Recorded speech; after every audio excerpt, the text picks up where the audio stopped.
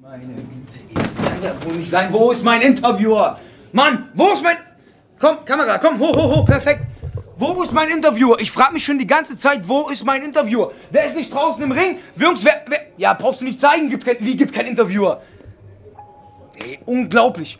Wie kann das sein, dass ich nach meinem Match kein Interview krieg? Das war abgemacht. Ja? Ich bekomme einen Interviewer. Egal, ob ich verliere oder ob ich gewinne, ist völlig egal. Ich habe was klarzustellen. Wie kann es sein, dass Anni dieses Match festsetzt? Der sportliche Leiter, der hat gar keinen Plan, mich und Jörn ein Match zusammenzusetzen. Was soll das? Wäre nicht mal schlimm gewesen, weil ich bin der Leader, ich habe die Ahnung, ja, ich bin der Body, ich habe den Plan, ich habe den Durchblick. Ich sag zu Jörn, mach, was ich dir sage. Kriegt er nicht hin, das ganze Match nicht. Es ist so einfach. Ich sag, mach das, mach dies, mach jenes und ich wäre Tag Team Champ gewesen heute. Ganz einfache Sache. Kriegt er nicht hin. Außer am Ende, wo ich sag, Jörn, jetzt. Was macht er? Dann kickt er, aber kickt mir ins Gesicht. Was soll das? Kann er uns nicht unterscheiden, mich und diese Bastards? Was soll das denn? Wie ist das möglich?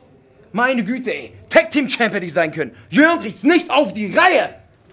Mann! Und nicht mein Interviewer! Scheiße.